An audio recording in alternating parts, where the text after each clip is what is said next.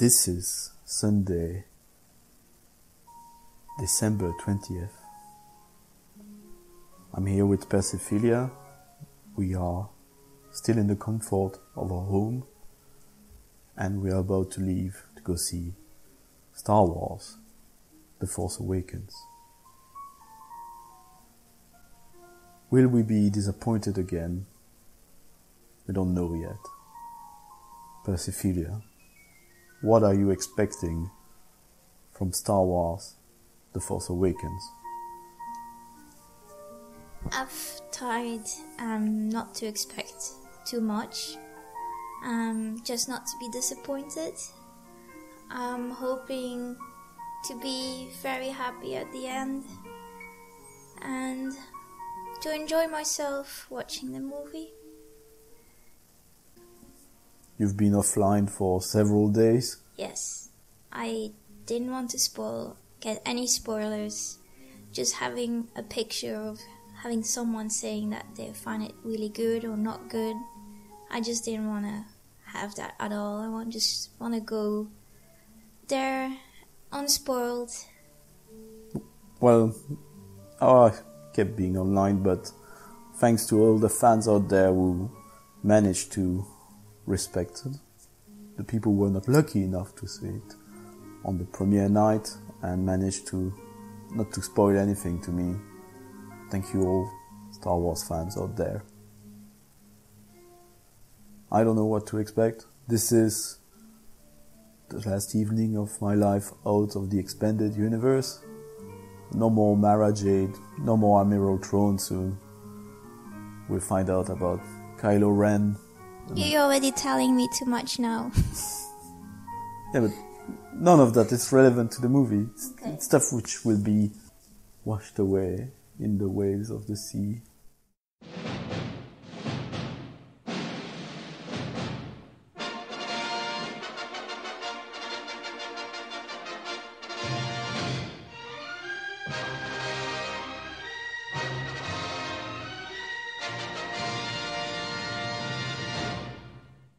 That's everything that's come before that hasn't wasn't the first films is now known as Star Wars Legends. Okay. Well, we'll see. We, we can go uh, further in that subject uh, later, but let first thing first. Like James Bond, what was your first experience of, of Star Wars, if you remember it? I watched the film, uh, the films on on TV, and when they first came out, and I really enjoyed them. I think it was like basically like Return of the Jedi as a five year old kid.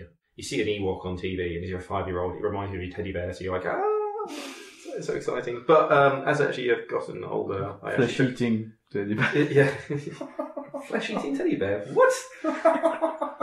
they ate those stormtroopers. They they were about to eat the good guys. it's dinner. Yeah, good point. Um, What about Um, what about you, Garry? Do you remember what was it like as a child? Star Wars. I listened to the cassette. My brother put it on. Me too. I had a vinyl. I was about to talk about that. It was a little cassette player, and you know the whole, you know, the New Hope. Um, Uh, wait, wait a minute. You're talking about audio cassette? Yeah, you, oh, yeah, cassette. audio, you know, audio, yeah. old-fashioned cassette Not, players. not VHS tape. no, no, no, it was absolute cassette. Yeah. So all Did you have a book? You would flip the pages. No, they, they put it on, so I'd go to bed instead of reading me a story. That you just please go in a dark room, be quiet for the night. That's pretty much my childhood, to be honest. loving family there. Yeah, totally. Uh, uh, no, they were a good family, to be fair. So anyway, um, so that, they had the cassette, and um, I think it was after listening to it, I absolutely loved it and fell in love with the whole story of it, like most kids do. And um, I think it was like I can't remember which one it was, but it was a, a video I saw in, the rental store, and I saw a big green guy on it, and go, "What?" See, I know that's Yoda now. I go, "Oh, I want to watch it. It's got this big green guy in it." And um, I think, yeah, so that's where it started for me. And then obviously I watched them all in the wrong order completely. Yeah, the, that's it. That's the exciting thing I find about the the original one is that well, first of all, it's talking like an old man, but it's not the generation. I mean, I saw first the, on the VHS tape the the New Hope, which in French was just not even called a New Hope. It what was just it called? uh, it's called uh, Star Wars, so La, La Guerre des Étoiles, Okay. which is the opposite because it would be Stars War. anyway, but it's I saw I saw a New Hope in VHS tape. I had a flip book with a vinyl disc telling the story and you hear R2D2 when you need to flip the pages of Return of the Jedi. Mm. So Bef- do make a noise yeah, I had a jigsaw puzzle of Return of the Jedi, but I didn't see it. And I was very confused because you had this movie, it's called Episode 4. I knew there were others. Well, it, it wasn't. Yeah, It yeah. took, but you could not access videos like you can today. You, you, you would have, especially when you are a kid, uh, very young, you just watch whatever they, they, they brought you and they, they, they, they were probably video club, but I, I was too young to know about them. So I saw A New Hope a thousand of times. and finally I saw Return of the Jedi. I knew of because of my vinyl thing, which was referring things in Empire Strikes Back, which I didn't knew what it was. And was, the last one I saw was Empire Strikes Back, but everything in disorder and even more confused by the fact that there were two Ewoks movies. So I would see commercial about Yeah. that, but I never saw them, but I, I thought at the time that episode one, two, and three already already existed. When, when were you talking about this, and when did you see that? 1980, I guess three to 1987 or eight. Because they didn't. They didn't name them episode four. Then I didn't think. I thought it was much later. Remember? I Well, thought it was, it was all they did was New Hope, Empire Strikes Back, and Mm. Return of the Jedi. When they did the the re, re, re digitalizing of them, I think that was them actually getting the money to actually see whether or not it was worthwhile to actually you mean the special edition? special editions. Yeah. No, They I did- think they it was did- episode four before that. But to be honest, as a child, the whole experience was very confusing, but all the more exciting Yeah. about that because that's what I love about Star Wars is this idea that you refer to things which you don't see. It's about, and then you read the books, etc., and you find out about them. But for each thing you find out about them, there's more mystery going on. Mhm. The world seems much bigger than the little portion you, you see.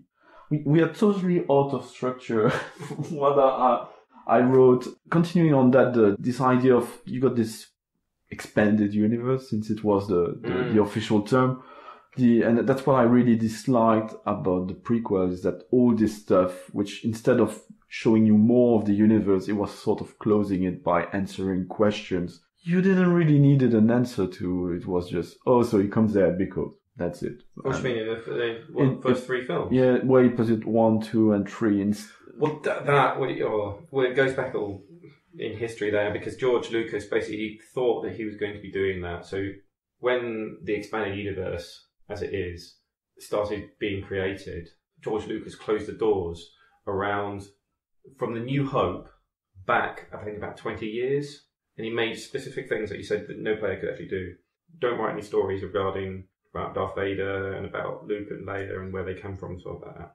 Everything else was you had to go to George Lucas's mm, office and actually ask if you could include something, and then they would actually see it off. But he'd actually did a verbatim no, don't To even bother everything. writing uh, any story about this, no matter how good it is. It's not going to get through because he'd already seen that I'm going to be doing this. yeah, I, I'm, I get the point about him securing that, but at Yeah. the same time, I just rewatch a New Hope, and it doesn't fly in the sense of if he already knew when he did that what was before. No, he didn't. Yeah, because he was it- he was he, he wrote that story in college. you you just watch a New Hope and everything which is said in it by characters like Kenobi don't make any sense with any of the prequels. Script wise, it doesn't make any sense. Everything he says is senseless compared to, to the movies. Thinking about him going through, I don't even remember having droids ever. So I don't even remember those two droids created by my friend who was underage, which been mine for ages, the two of them. and I saw them. Yeah. Like, yeah, you it doesn't doesn't I work. think I think you know there's been lots of arguments over to what it could be. Okay, I'm gonna cut there because otherwise we're gonna go for ages Yeah, on, on, on this.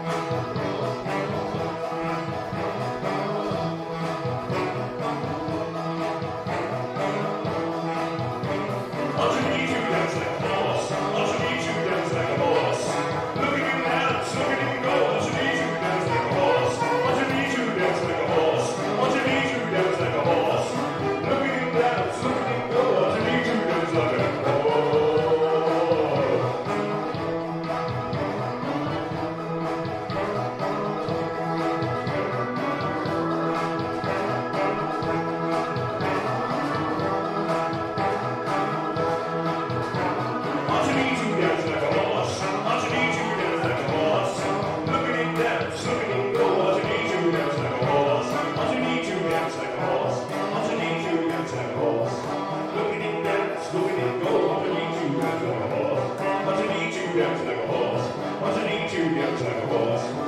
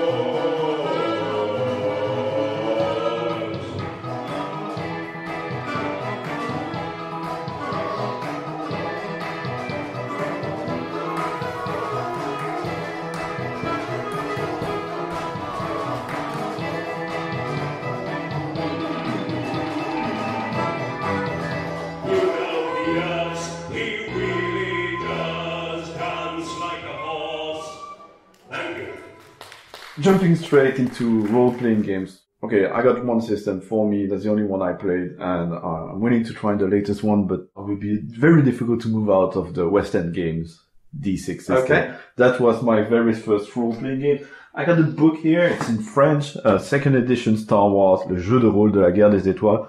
I didn't knew what was a role-playing game when I got it. I saw it in a magazine. I asked it for Christmas, received it, I read it. Didn't get at all what it was. I was really confused by this. I was like, is there a board? What's going on? You were in the James Bond episode. You mentioned Garry about your first child uh, experience in role playing. We we played just me and my best friend on a kitchen table with with nothing, playing five minutes games. That's the most we did before I actually found out about other players. Garry, have you ever played to any Star Wars role playing games? I played them all, to be honest. Them all. Okay, that's great. I mean, I'm actually more of a, a big fan of the newest one. Seems good. It is. I mean, I, I like the f- fact that, I mean, I'm James more an expert on the newer system than, than I am. Uh, I had the pleasure of him as a GM for this, not stuck behind a door though. It's, it's good because it's a dramatic system. It's, and I think if you're playing a hero, you need to be, you need to have that dramaticness to it. And the new dice system, which they did do many years ago, they brought them back forwards. Mm-hmm. The new dice works. It's more fluid for the GM to work with, more easy to understand with the players. So I kind of like that one compared to like D20 version. Yeah, the D20 I was never attracted by the idea of playing a level 5 Wookiee or this sort of thing. That that just felt really weird. It's just easy for people to understand because when you got like a D&D player, you know, you want to go, actually, I like D&D, the mechanics of the system, so maybe I'd like to do this in a Star Wars universe, so it sort of fit for them.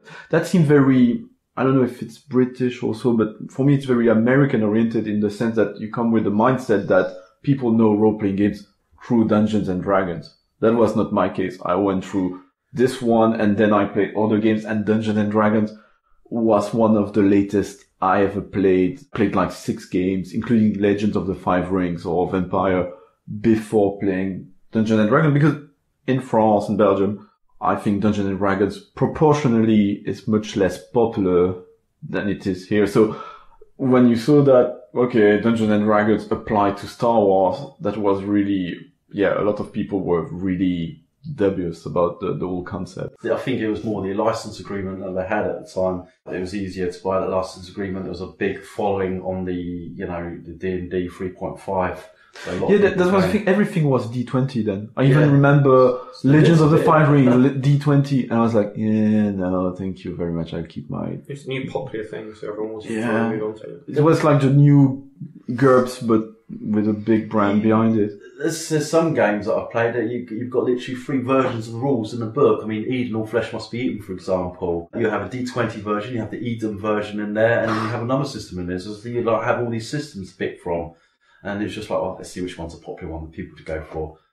If you bear with me a couple of moments, I like to. I like. I like to tell your listeners a little bit of the history of it all because you're a diehard D6 fan. Yeah. um, and that's when it came out. And hopefully, this will basically bring everything to a close. You know, including Force Awakens. Yeah, everything like this. So everyone knows that Star Wars big all started off 1977. No one, no one had ever seen anything like it like that before. Certain role players at the time basically came around and saw it and they go, "Wow, what a great thing! Let's actually create a, a role play game about this." But we can't actually call it Star Wars because we don't have a license. Okay. So they invented the Traveller system. Really? Oh, which is very popular around here, but I had never heard Yeah, of. yeah. So that was they in invented Traveller, and yeah, that's when they basically started it to get it- the whole the whole thing running off there. Now it actually comes back down to Ghostbusters. What? Ghostbusters. Ah, the role playing game. Yeah. Well, no, go to the film. Then people Okay. want to do the Okay. role playing game. They invented uh, Ghostbusters role playing game around this, and they invented a custom dice system, which they actually coined the word dice pool because before then it was just one dice roll and that was Uh-huh. it. And then with, the, with this new system, you had a multitude of dices that you would roll.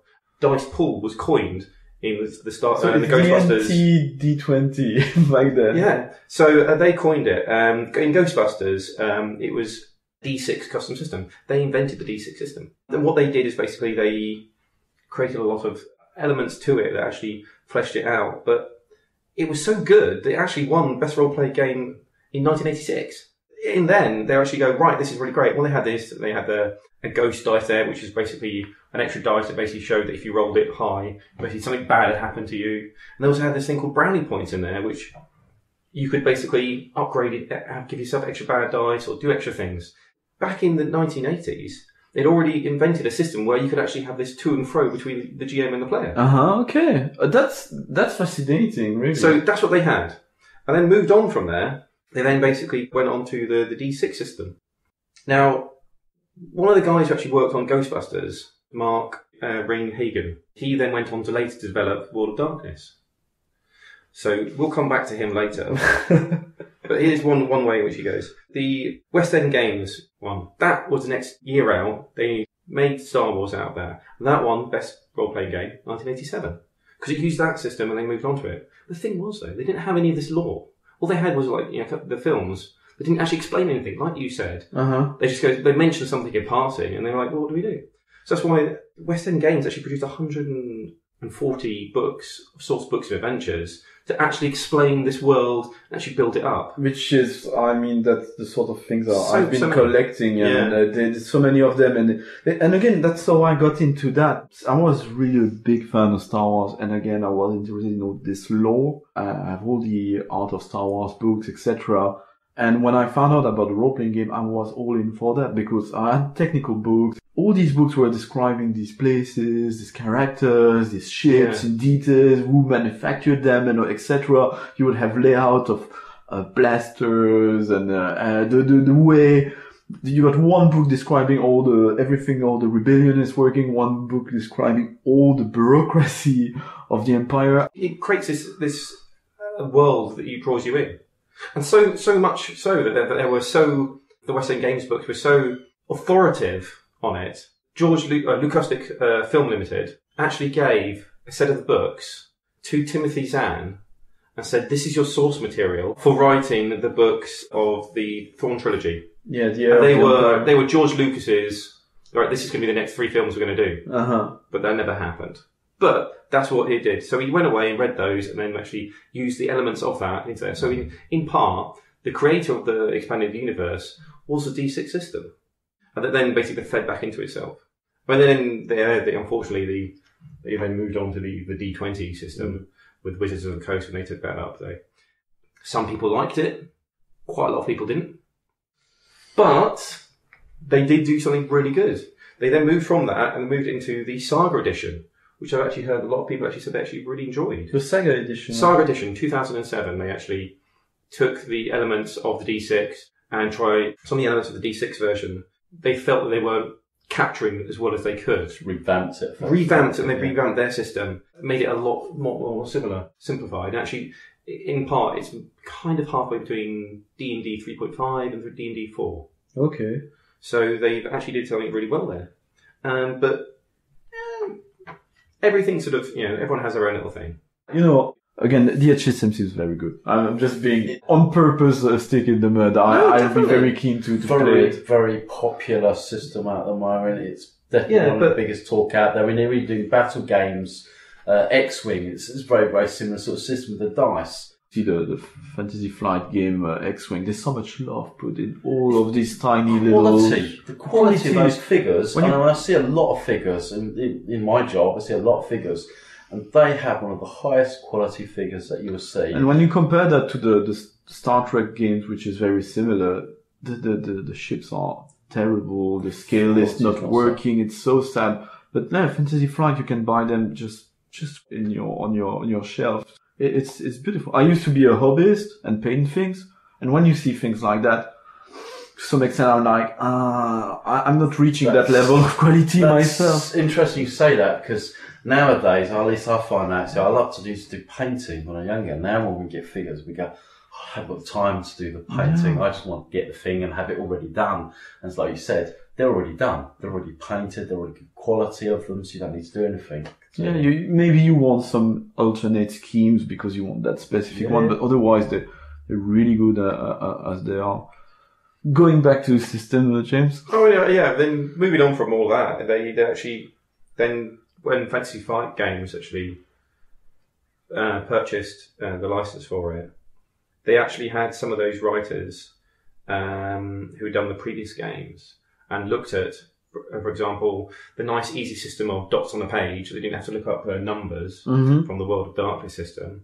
Um, and took all the best elements they could try and actually get from the stuff they'd done before with to the dramatic dice they used in Warhammer, used that and developed on it more. They'd taken all the lore and all the simplified and basically created a game where it was a lot more simplified version of the rules actually to make it flow a lot more. So And- Fantasy Flight games of Star Wars is a combination of 40 years, uh, all forms of role playing put together, and actually worked on the best the best area. And I really enjoy it because one of the things it does do is, if no one knows what the fact they, they've done with their dramatic dice system, you have good dice and you've got bad dice.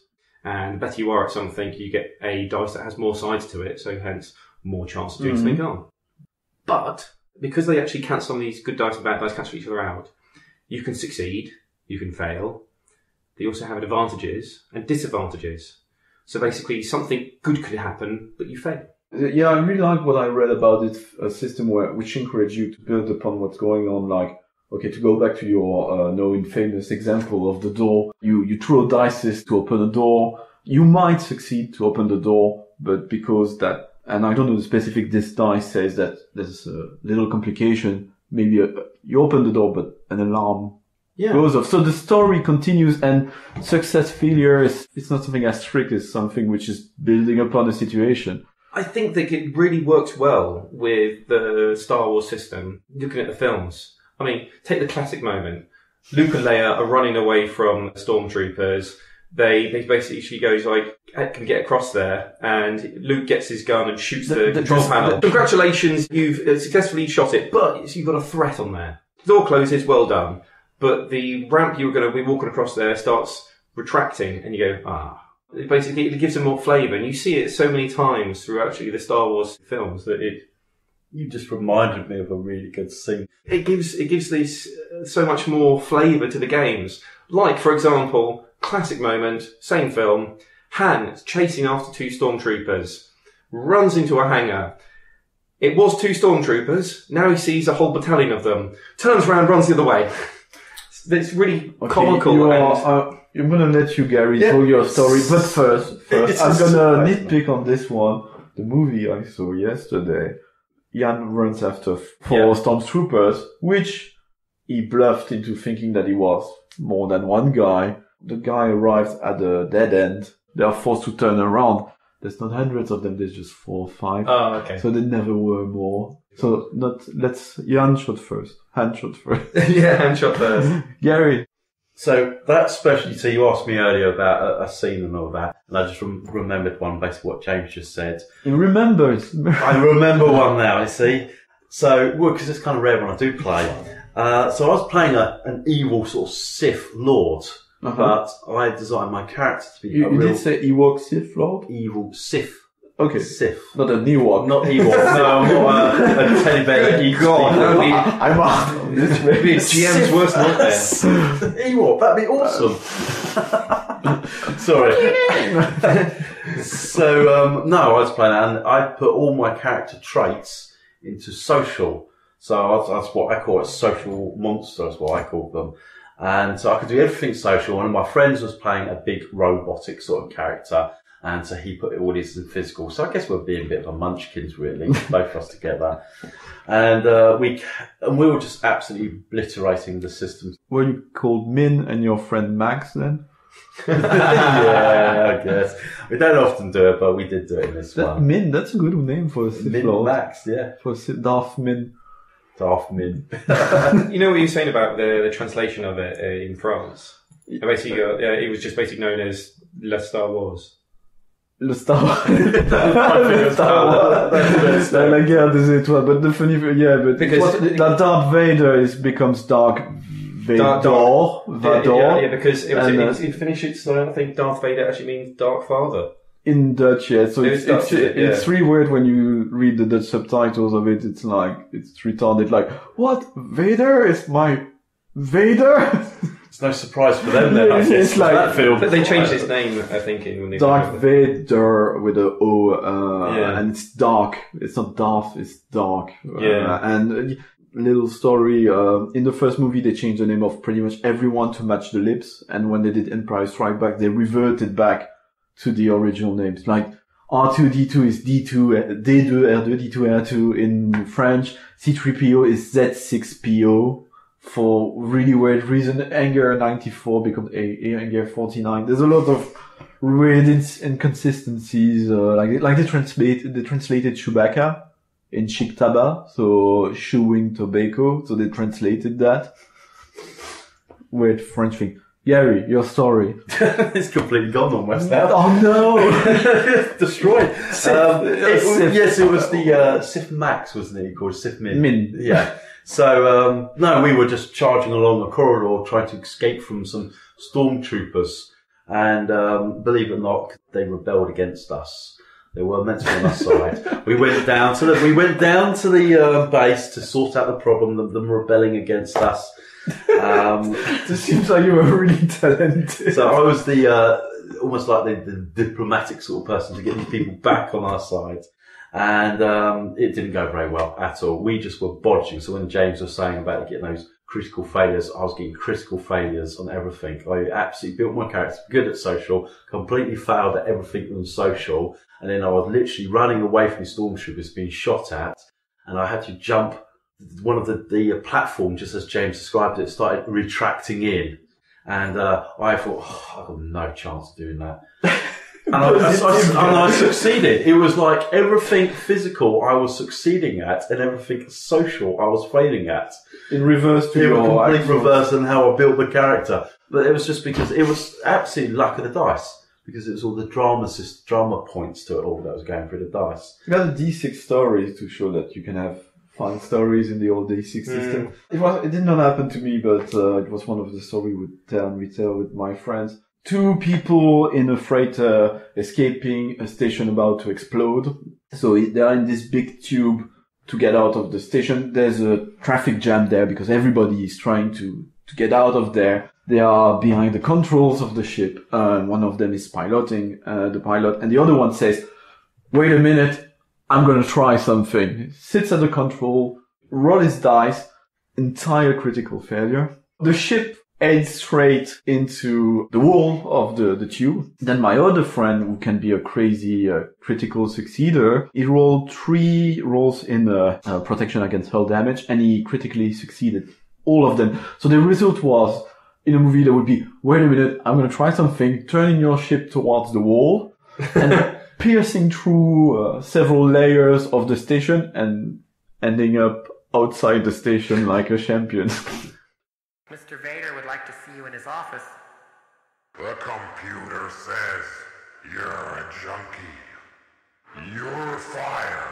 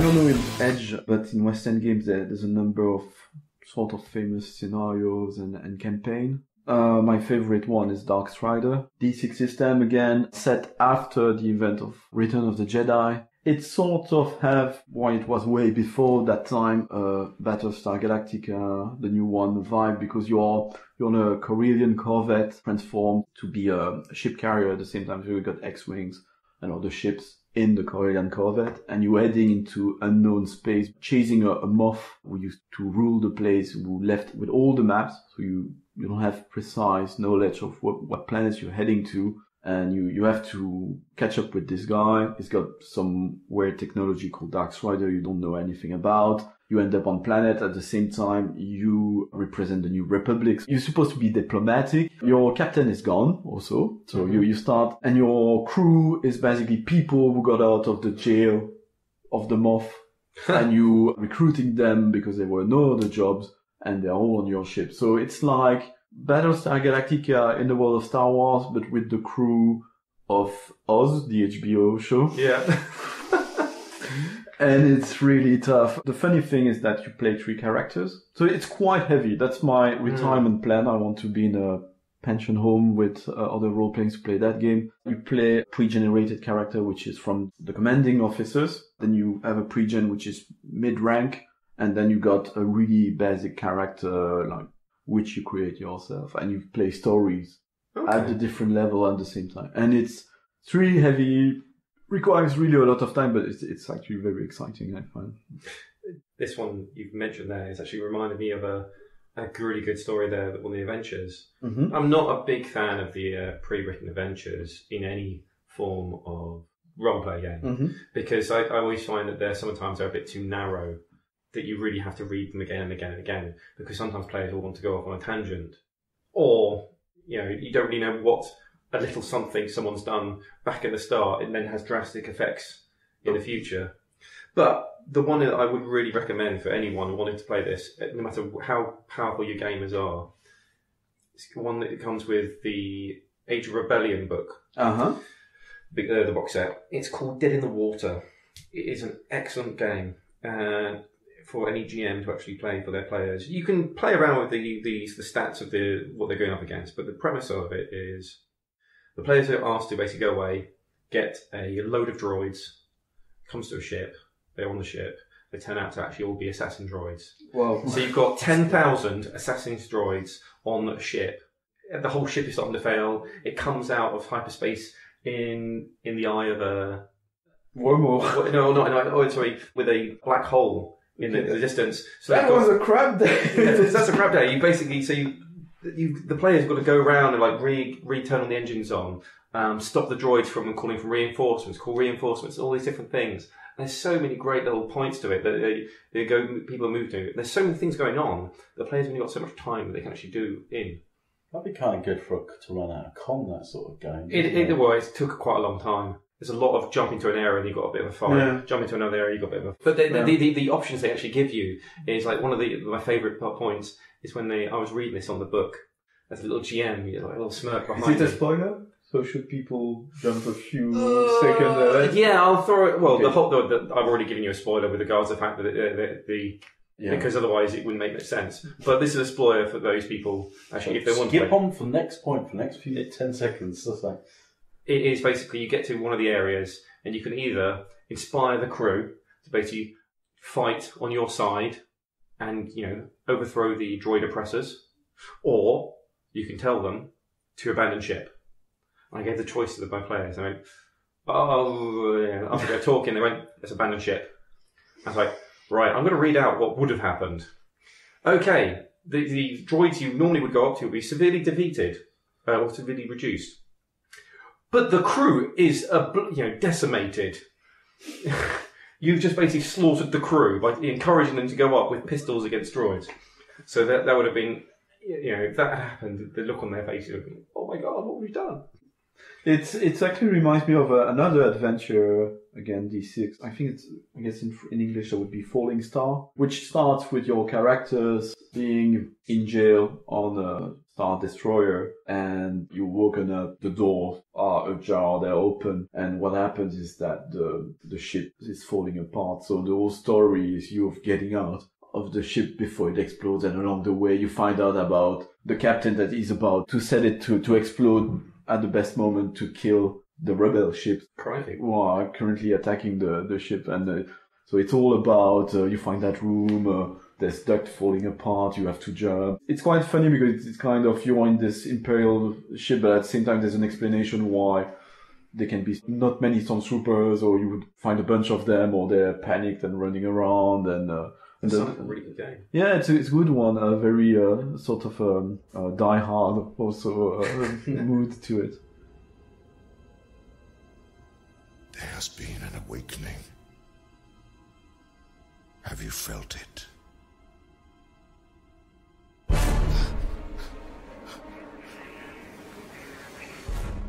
We are just out of the, the Force Awakens at the BFI IMAX. I got a, a few people in front of me very excited. What's your name? Uh, Roberta. Roberto? I'm Hannah. Anthony. And, and someone is hiding behind there, but we, we won't bother. So, The Force Awakens, what did you think, Roberto? Um, wow, um, I really enjoyed it. Um, it had loads of amazing moments and was harking back to the original trilogy and there were a lot of nice touches. And, but there were, there were feelings as well. It wasn't just action, so it was great. I really liked it. So, so a lot of people are crying in there.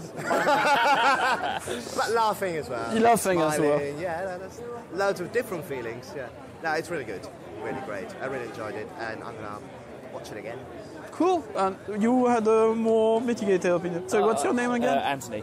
Yeah, no, I, I really enjoyed it. I think I think he's right as well. Obviously, touched the strings, and there were a couple of moments that hark back to the old trilogy. You couldn't help but kind of choke yourself up.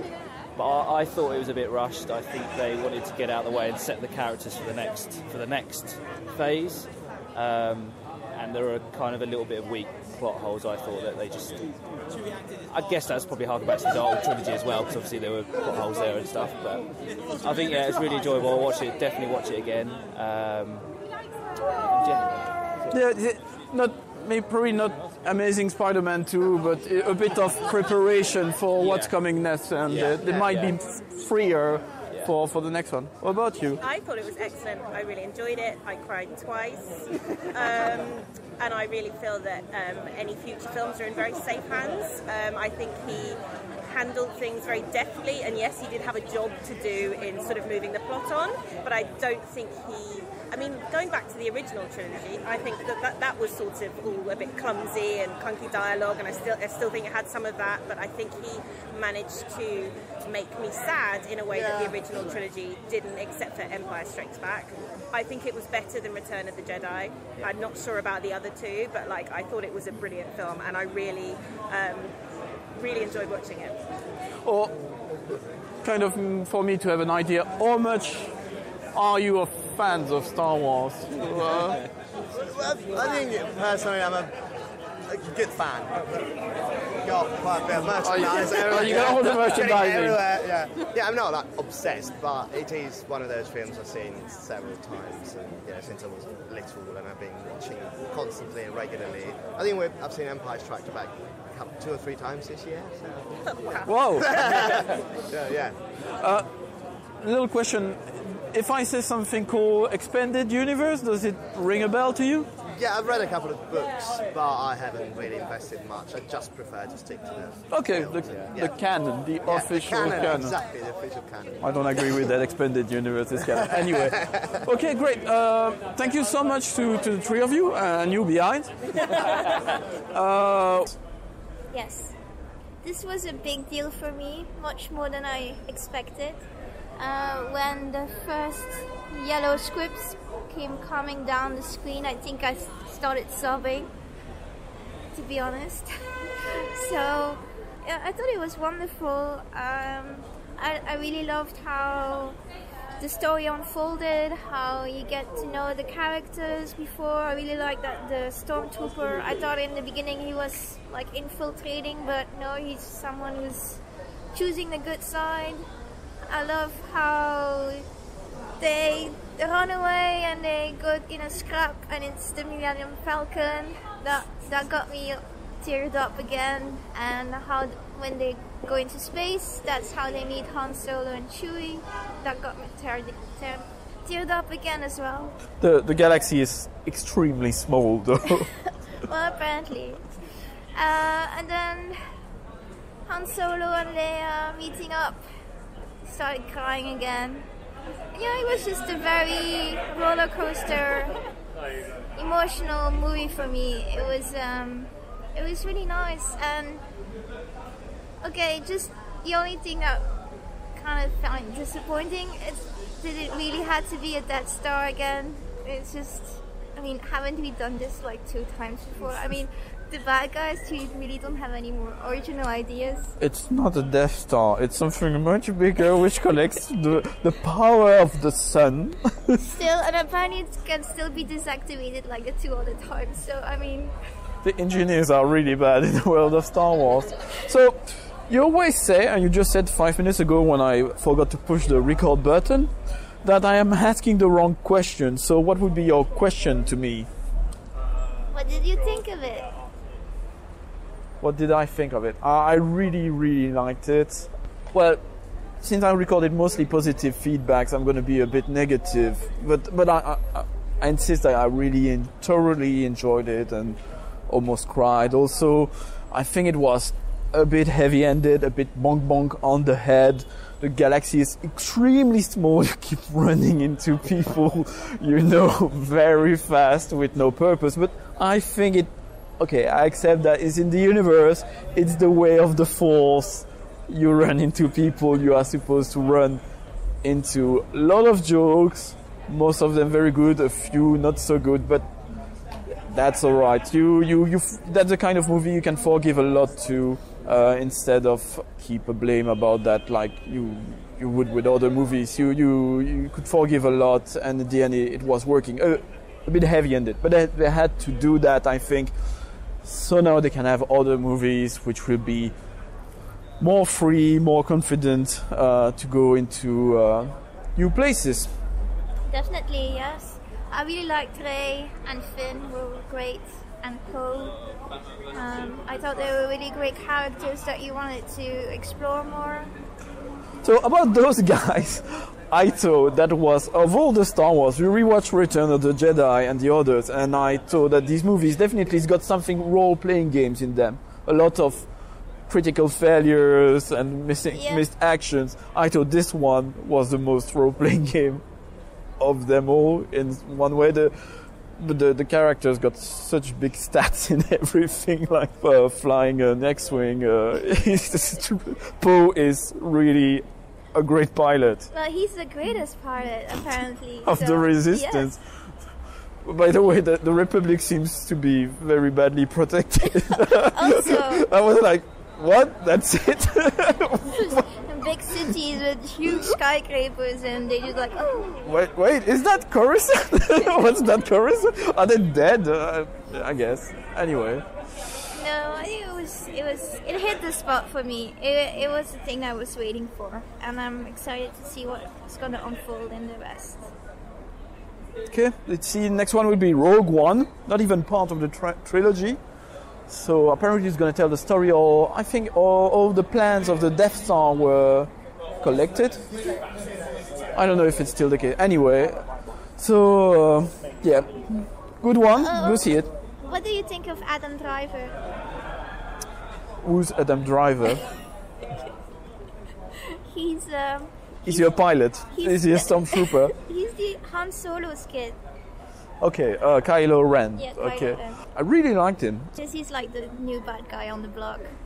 What do you mean, the new bad guy on the block? He's Darth Vader.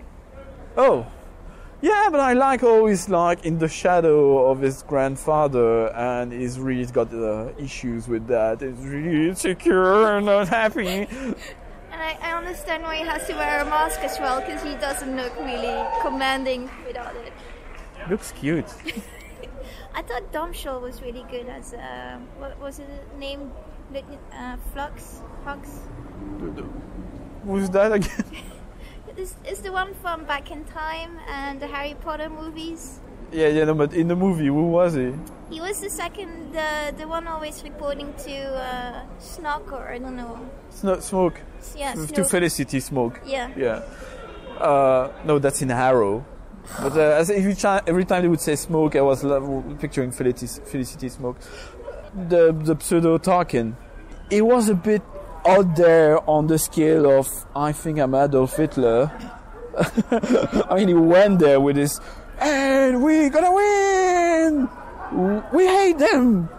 Why? We don't know. but we hate them. Yeah, yeah, no. Um, okay. General Hux, Domhnall Gleeson. Is it related to Father Gleeson? No. Who- The guy who was in, in Bruges? I Don't think so. This this po- post thing is getting out of control. Okay, thanks. Back with Garry and James, and uh, let me know what you think uh, of the movie. Bye.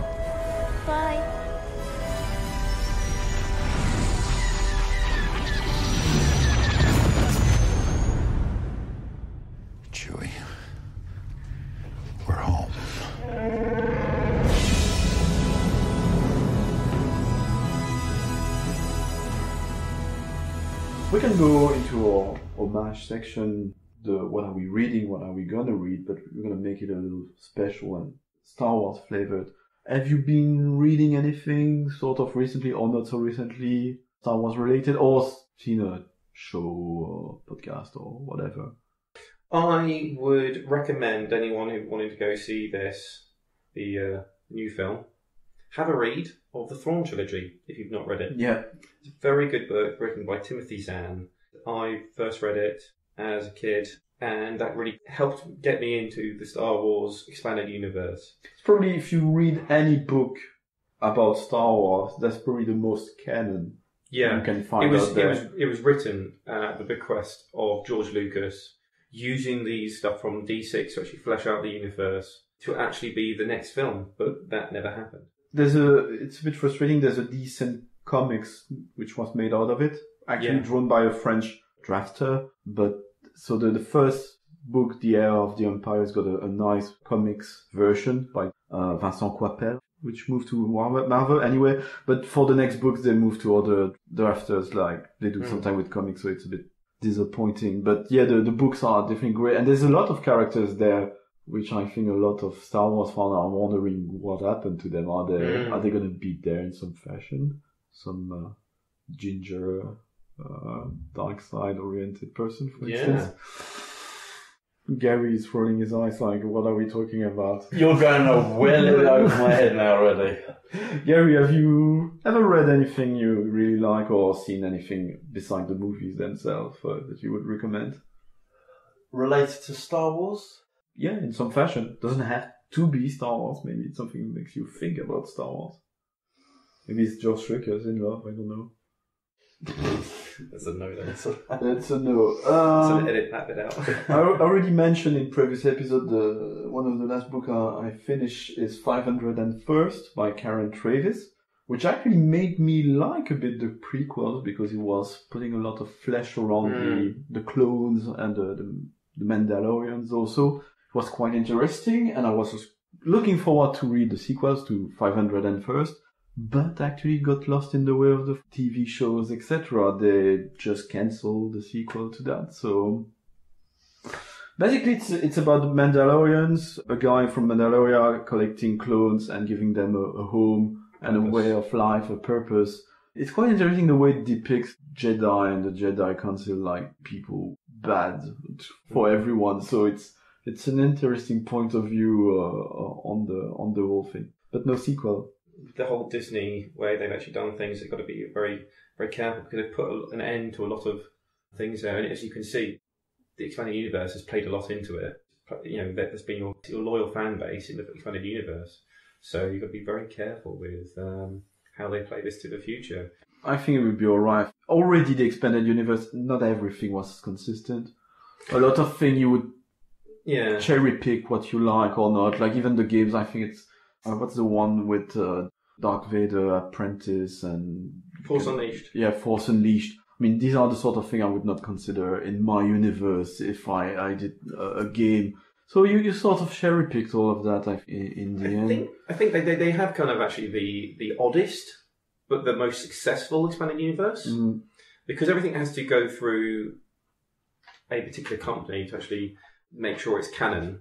They actually had like levels of canon. Mm-hmm. Oh. So that there was, um, first of all, at the very top, it was everything George Lucas said. That was that was it. Whatever he was in his mind, that was true. And then you had the, the next one. Then you had like television canon, which was like Star Wars Clones, Star Wars New Republic.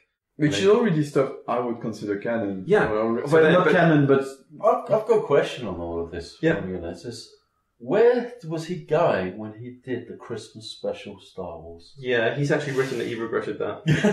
Because does that fit in the storyline or all No, this? well, it was, it was kind of it kind of was, but it wasn't. But I think the, the what I was actually saying with regards to um, that, that there's layers of canon is the popular one works, and that sounds a very odd thing, but they have actually retconned certain things within their the expanded Mhm. universe because certain things have become popular. You know, a game may come out and only a few people play the game, so they don't really care that it contradicts something and they kind of say, no, no, no, no, that's this other level of canon is higher than that one, Then so it it's, overwrites it. But most of the time, they'll actually go, right, okay, if it's really, really popular, they'll try and retcon it and make it, yeah, play it into it.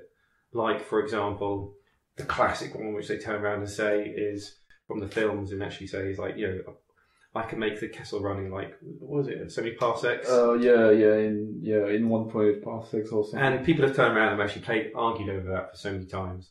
Say, the parsecs unit of distance, not time. And you go, well, technically, he, he could do, would be doing one of two things. One, he could just be cocky and trying to, you know, fast talk someone who doesn't know. Mm-hmm. Or two, if you've got in space and you've got lots of obstructions around the place, if you're showing how good a pilot you are, you could go round the long way to that place, or you could go the most direct route, which is through the most hazardous. Yeah. So you could say, I'm such a good pilot, I can get there in the shortest distance. Yeah, no, that, that I read that, that you, you would go around Ke- uh, Kessel and the, the, the parsecs are actually the radius from from Kessel and the, Yeah. the tighter you are, the best you are. So, so and the Yeah. faster your ship is because it needs to, to handle the. So that's one way. That- so he- they, they they may turned a a comment that George perhaps George Lucas got wrong initially when writing it out, not knowing enough about space. That he's now turned it into actually, yeah, actually, That was what we read, and the the yeah, the, the that trilogy is probably up there in those uh, canon. At least it was until Force Awakens. Actually, what I'm gonna read, I'm gonna reread something which is uh, probably not Hazard in the canon, but I got a good memory of it, although it was not all good. Which is the um, the fourth trilogy. So you got the prequel, the first, you got the second, which are the, the original movies. You have the third, which is a Zahn trilogy, and the sort of fourth trilogy is uh, Dark Empire, which was a, a comic, which was telling the, the story about all after that. So I quite like this story. Uh, a lot of, uh, I think that that's the first time I heard about a place called Nar Shaddaa, which is sort of Yeah. a gritty, Coruscant, multi-layered, very uh, rough place. The, the visual style is quite changing a bit. Uh, I would understand people don't like it. It starts with very artistic, then they change again the drafter and it goes a bit downhill. It was a Dark Horse comic yes. after it's been to Marvel and before it came back now to Marvel since it's all under Disney. So the Dark Empire Dark Horse Comics was by Tom Veitch. I found out today that the drafter was Cam Kennedy Scott and the second not so good drafter, or maybe it was the inker, no, it's fault. Uh, Jim Brickey is, is British and uh, Cam Kennedy worked on Judge Dredd. So actually visually it's a bit like Judge Dreddy, but there- there's great Yeah. scenes with, with Boba Fett there. On one hand doing really badass thing against Sith, and on the other end being what in French we call uh, Johnny Patball, Johnny Low Luck, because every time he's in the vicinity of Han Solo, for some reason, he, he becomes a very unlucky and, and Mm. terrible uh, bounty hunter. Anything you're looking forward to see beside the movie? I'm really looking forward to see the the Rebels one they're actually going to be doing. I'm looking forward to The seeing uh, that. Rogue One. Yeah. That, that I, I'm actually kind of more interested in Rogue Yeah. One than the new like, uh, Star Wars one because on one side of it you've got the what is it space wizards Yeah, uh, the, the, you see people doing the grittiness of it, the, the, the under elements, and actually it would be really interesting to see because the story is going to be it's going to be a three part film that's going to be like Bonnie Bonnie hopping over Oh, the it's other one. three parter. Yeah. Actually, they were doing three one shots. I didn't know Rogue One was a three parter. I, I well, I think there's a Boba Fett movie, a Han Solo movie, and Rogue One. I don't think there's three Oh, Ones. I, I, thought, I thought there was. But But the Rogue One, Rogue One is going to be telling the story of the captured uh, Death Star plans before you actually see. The, the Oh, New they're doing that storyline, yeah, yeah. And that'd be really interesting to see them And, do and that. I like just the picture they show because it looks like a group of Yeah. role play characters. Again, the prequels, my issue with that was Jedi, Jedi, Jedi. I, that's not the most exciting. You you look the first Star Wars, you see Obi Wan Kenobi doing a few things in the back, but otherwise it's mostly about guys without powers uh, doing whatever like you would do in most tabletop RPG. We we did not even discuss the fact that personally the fewer Jedi's involved around the table, the the best it is. Uh, I would not allow my player to be one, or they would have a very, very, very difficult Star time. Wars, uh, the Force and Destiny, they've actually done a very good way of actually power balancing it between the the Jedi and the, the players. You could be just as skilled as, as a Jedi, but being a Jedi gives you more options. Okay. It gives you the ability to go, I'm not a great shooter, but I can be an okay shooter. GMs are always a bit funny about that, I found. you They, they, they don't like people playing Jedi's.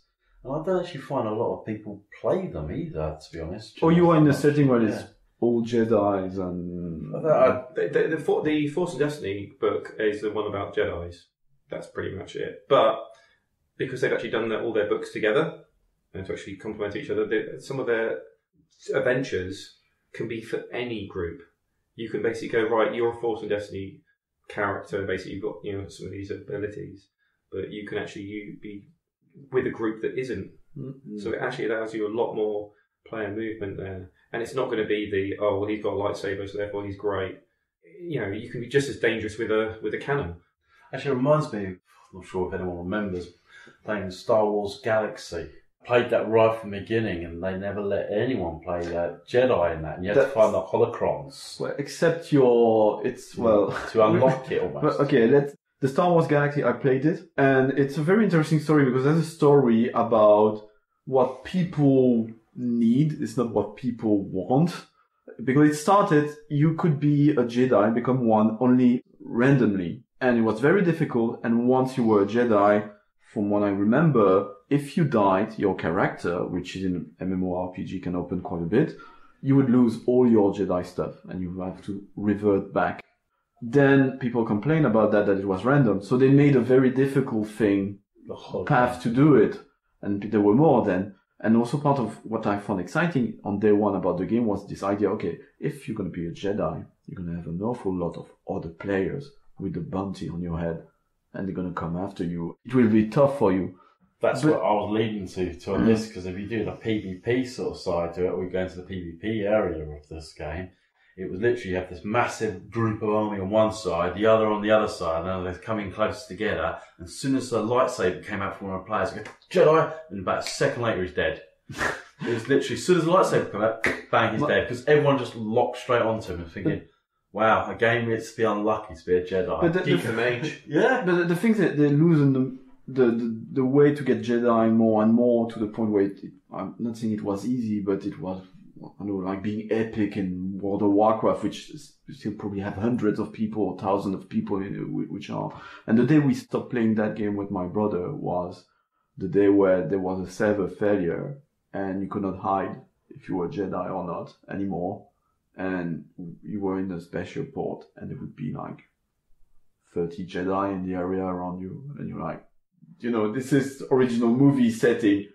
That doesn't make any sense. It- Well, they had critical failures at the end of that. But then, then you go to the new Star Wars game they've done. I didn't play it that much, Mm. but I did go onto the tests, uh, beta, and uh, it was just literally every other person was a Jedi in it. Everyone wants to be the hero. Yeah, wants to be the yeah, Jedi. it's just so I understand why you, you do need the balance, and it's it's kind of nice that when you're in a role playing game, at least it's a little bit different. Not everyone always wants to be a Jedi. At the same time, it's nice because you want to give that flexibility for people to be able to play it. I think they've, they've done that in the Fantasy Flight game. They actually, Yeah. they've actually been able to do that. They've, they've made it so that Jedi's, you can have all the powers and stuff like that. You can like be persuasive. You may not have any of the skill. You can hide from someone. You can make basically so it gives you more options, but it doesn't make you an expert because you spent have to broaden your XP out. But one of the the elements is that you know they kind of explained it away. One of the the boards they've explained away how you can actually become a Jedi later on. Look at just, uh, New Hope. Darth Vader meets his own daughter and doesn't realise she's a Jedi or got got the Force in her, and that's where they basically the whole the the you know they're talking about it behind the scenes and basically everything like that is that in the Star Wars universe everything has the Force in it. Yeah. It's your ability to control it that allows you to see how whether you're trained. So he walks up to her and goes, "Right, yeah, you've got the Force in you. You've got quite a lot of it, Yeah, because but you're not using it." because you're you're someone strong, and if in the Star Wars universe, if you're s- strong, whatever that means, uh, Mentally. mentally, etc., you got the Force with you to some extent. You're lucky. You're you're good. Yeah. like like Han Luke, Solo. Yeah, Han Solo or Luke when he's when Vader, in the original movie in the New Hope is flying behind Luke, he's saying, "Oh, the the Force is stronger in this one." He's not saying, "Oh, this guy is a Jedi." He just says, "Well, this guy got I think it." he, I think he always senses. I mean, at least this is the way I see it. That he, he probably senses that she, uh, Princess Leia's got the Force, but it's just like she ain't using it. There's no point mentioning. Well, it. he, say, he says it Yeah, uh, at some it- point. He said uh, the, the way she resists to torture is extremely impressive. So in a Mm. way, that's He doesn't need to really mention it. 'cause Yeah. Like James said, well, not using the Force. So It's like, it's like having the actual Force, uh, like dice. Yeah. Whether or not you've got them locked into certain things. Force sensitive, isn't it? Yeah. So you're actually like activating your Force powers. You can usually like sense that someone's actually got uh, uh, Force training when they actually start using their powers. it's got a lot of XP. Wow, this NPC is quite strong. Yeah. Clearly, had a lot of XP over Must be time. level six at least. I like that about the basically you, you can have that in there and basically just allow that right okay the player wants to actually become a Jedi now um, we'll, we'll work something into his backstory and then we'll make, move it along as opposed to well you're a wizard or, or you're a thief yeah. and then if you want to become something else later you're now shooting yourself in the foot because of it Yeah, that's that's why I really dislike with the concept of D20 system is that D6 and I guess Edge, you can create very quickly a new template, something which is your own, which is not unbalanced compared to others, but which would be yours. You you can create a space pirate or, or whatever, a former box champ- wrestling champion or, or whatever, and but it, it still works, and it's just someone who for some reason never used a blaster but gonna learn to use them and. And, and pretty much that's it. I like that actually with regards to the system and the fact that it allows you a lot more real world things. It's like, for example, um, if let's go back to D and D. You go right, okay, you're playing a D and D character. You're a, a rogue. That means you can't use long swords at all, ever. So I can't just. There's a long sword on the side there, and I'd rather use my fists than pick it up. Yes, okay then. Whereas in this game, you go, okay, you're not trained in that, so you're going to be bad, but you got a chance. Well, is it, you- you've got a better chance than with nothing. Yeah, or- exactly. So it's it's it gives you it gives you the element, and some of the things they've actually do in this new system is they've actually got skills called um, like talent trees Hmm. that you can buy into any any of them. Just costs you XP. So you can basically go, I want to be a bit you know bit piloty, bit bit this. But by having some of those talents, it actually makes you really really good. Mhm. For example, one of the simplest ones is if you want to be a fighty character, by buying this talent is okay. If on a critical roll, I now whatever the critical roll is percentile, because I've got this talent, it costs me ten XP plus ten to it. So you're helping your character out by having that. Now, while someone is not a fighter and not on that tree, they may get the same chance on the critical roll Mhm. as you, but they're not as good as you because you've got that talent. Yeah. Sadly, I think we need to uh, wrap up this one. Um, so that was the Rolistes podcast again with Garry and James. Uh, thank you so much. And uh, uh, again, leave us your comment. Twitter, just Google Rolistes Pod and you will find us on Twitter, Facebook, uh, WordPress, uh, Rolistes Pod, Rolistes with an S. And uh, leave us your comment and let us know what's your, your best uh, Star Wars stories and uh, what's your favorite game system. And in the meantime, have good games. Have good games. 2D2 Dance Like a Horse by Ergo Phizmiz.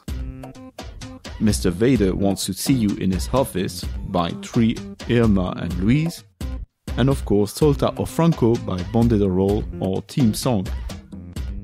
All songs available for free on freemusicarchive.org.